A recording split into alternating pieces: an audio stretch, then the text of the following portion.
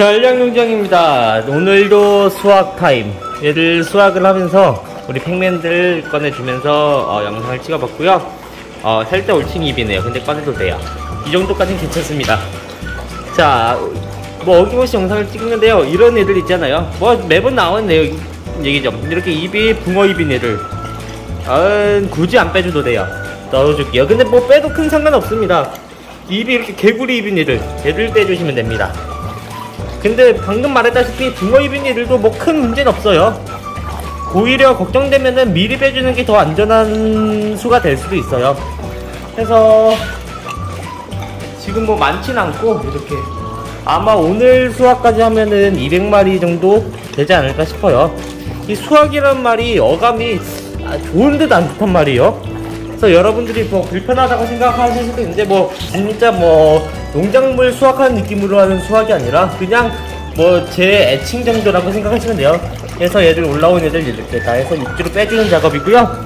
뭐 저한테는 가장 즐거운 순간이면서도 가장 겁이 나는 순간이죠. 왜 겁이 나냐? 얘들 이제 다 한 마리씩 분리해서 사육을 시작하게 되거든요. 일이 엄청 많아져요.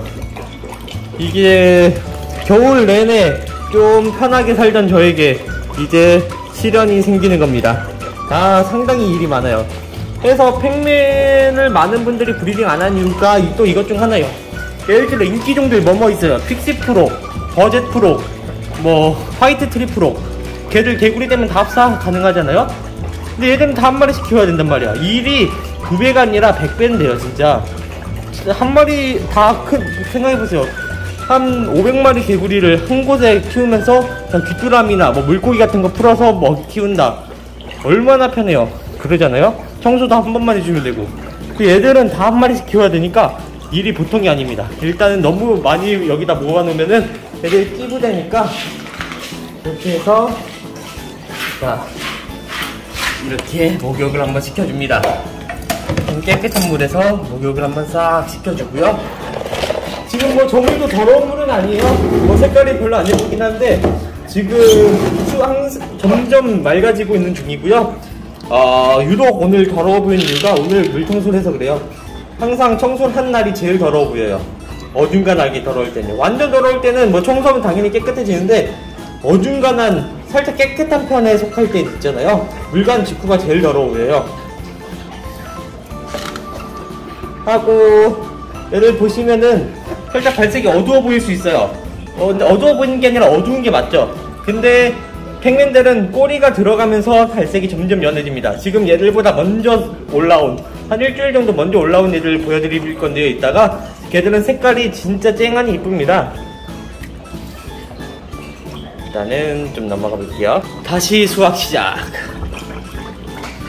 가장 즐거우면서 가장 걱정되는 순간이죠. 아, 이 많은 얘들을 내가 또 하- 일일이 씻겨주고 밥 먹여주고 청소하고 먹이 부침하고 해야 되는구나 하면서 겁이 나는 순간이지만 그와 동시에 가장 기쁜 순간이기도 해요. 아, 내가 울증이들 잘 키워냈구나. 뭐 이런 생각도 들고 예쁘게 잘 태어나줘서 고맙다. 이런 생각도 들고 가장 아, 묘한 순간입니다.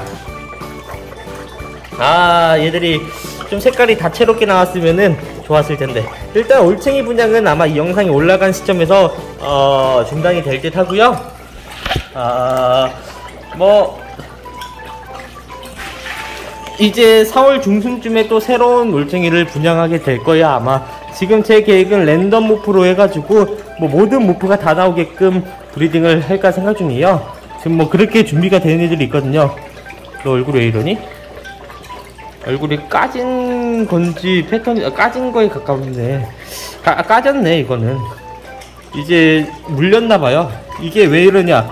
이제 사료를 좀 최대한 넓게 다채롭게 다채롭게? 좀 더 넓은 범위로 뿌려야 돼요. 그래야 애들이 최대한 안 물리잖아요. 그럼에도 애들이 몰려요 한 곳에. 그래서 막 사료를 뜯어 먹다 보면은 옆에 친구 입을 뜯어 먹어버리는 경우가 있어요 그렇게 되면 저렇게 되고요. 보통 이 정도 상처는 자가 치유가 돼요. 그런데 아무래도 상처, 상태가 좀 심해 보이면은 아, 여기서 좀 더 격리 조치를 한 다음에 치료 후에 어, 분양을 시작하게 되겠죠. 아, 힘이 듭니다. 힘이 들어. 이렇게 누가 카메라맨이라도 해주면 좋을 텐데 이렇게 아, 한 손으로는 찍고 한 손으로는 잡고 쉽지 않습니다. 아유, 많이 나왔네, 많이 나왔어. 영상 찍으려고 굳이 모아둔 건 아니에요. 이렇게 매일 나와요, 지금. 지금 올챙이들이 바닥에서 이렇게 사료 냠냠냠 하고 있잖아요. 이런 애들도 내일 되면 갑자기 개구리가 되어 있어요. 하고 이런 데에 보통 숨어 있습니다. 이렇게 뒤에 열어보면 있는데 이미 제가 한 번씩 열어본 상태이기 때문에 지금은 없네요. 얘들까지만 잡고 애들 두 마리랑 저기 한 마리 더 있는데 쟤까지만 잡고 넘어가 보자고요. 제가 아까 말했던 거 이런 데 사이에 펭귄이 좀 숨어 있습니다. 이렇게 아무래도 이때 되면 제일 약한 시기에 애들이 어, 올챙이들한테 공격받기가 너무 좋거든요. 하다 보니까 본능적으로 이렇게 좀 구석진데 숨어요. 그럼 올챙이들이 잘 공격을 못하거든요. 자, 목욕 한번 하고 넘어가 볼게요. 힘들다. 깨끗하게 좀 몸을 때좀 벗기고 어차피 얘를 이 과정에서 한 스무 번은 목욕을 하게 돼요. 꼬리가 들어가는 과정까지 계속 청소를 해주거든요. 왜냐?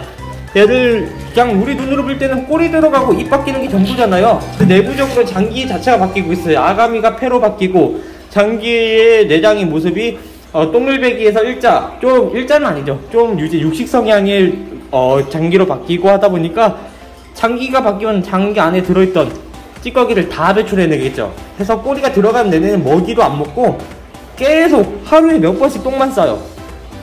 하다 보니까 물이 엄청 더러워집니다. 해서 수시로 청소를 해줘야 되고 그래서 꼬리가 다 들어가는 동안 한 20번 정도 애들은 목욕을 하게 될 거예요. 해서 지금 뭐 굳이 엄청 깨끗하게 목욕을 시켜줄 필요는 없습니다.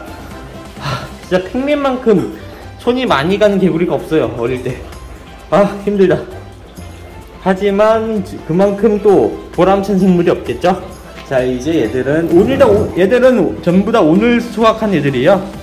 색깔이 까무잡잡한 애들도 있고 밝은 애들도 있는데 보면은 밝은 애들은 비교적 꼬리가 짧아요 하고 일주일 전에 한 일주일 평균적으로 일주일 정도 된 애를 먼저 한번 보여드릴게요 자 왼쪽이 방금 잡은 애들이고 오른쪽이 어, 조금 된 애들인데 확실히 애들이 발색이 더 좋아요 이뻐요 밝아요 노란 애들은 다른 클러치에서 나온 애들이고요 물이 조금 더럽죠? 근데 물 청소해준 지 2시간도 안 된 거예요. 지금 아무래도 계속 배변을 하다 보니까 물이 수시로 더러워져요. 그러니까 하루에 몇 번씩 청소를 해주고 목욕을 시켜주면 되고요. 어얘 사이즈 좋다. 이렇게 이쁜 애들도 있고 살짝 푸릇푸릇하니 옆에 친구들보다 푸른색이 강한 애들도 당연히 있습니다만 이런 애들은 후에 선별을 통해서 확실하게 어, blue mint급으로 분양을 할 예정입니다. 어얘 색깔 이쁘다. 색깔 좋다. 그죠?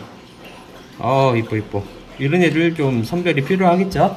아 이제 청소해주고 또 올, 이게 Pacman이 어려운 점이 여러 가지가 있는데 그 중에 또 하나는 이거요. 얘들을 어, 1주차, 2주차. 아직 울칭이들이 저렇게 많은데 어떡해요? 그러니까 얘들이 관리를 세 가지를 하게 돼요. 개구리 관리, 프로그램 관리, 올챙이 관리. 엄청 손이 가는 거거든요 이게. 세 가지를 한 번에 해야 되니까. 근데 또 다음 팽뱅 울챙이까지 번식을 한다?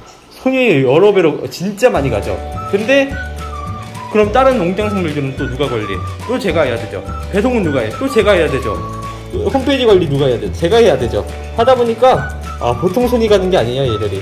해서 뭐 예전에는 뭐 회사원분들, 뭐 학생분들이 부업으로 팽맨 울증이들 번식을 해볼까 어, 생각 중이라는 분이 많았는데 전업 아니면 하지 마세요. 다른 개구리들은 전업 아니어도 할만해. 그거 인정해요. 근데 팽맨만큼은 전업 아니면 하지 마세요. 그거 100% 관리 안 됩니다. 진짜 제가 그렇게 시도해서 실패하고 개체들만 떠나보내는 분들 너무 많았어요. 많이 봤어요. 막 진짜 동물 학대 수준으로 가는 분도 계셨고 막 사방 뿌리는 분들 물론 야생이 부렸다는 그 뜻은 아니에요. 그런 분들도 계셨고 곧 전업 아니면 하지 마세요. 이거는 진짜 상상 이상의 노동이기 때문에 얘들 팽맨 번식은 아 전업이 아니면 제발 하지 마세요. 감당 안 됩니다. 자 일단은 영상은 어, 여기서 마쳐보도록 하겠고요. 아, 이번 주 주말에는 어, 신규 또 수입 들어오는 개구리들하고 뭐 다양한 얘를 또 한번 찍어볼게요. 얘를 또 한번 더 찍을 수도 있고요. 자 그러면은 여기까지 알량농장이었습니다. 아 감사합니다. 뿅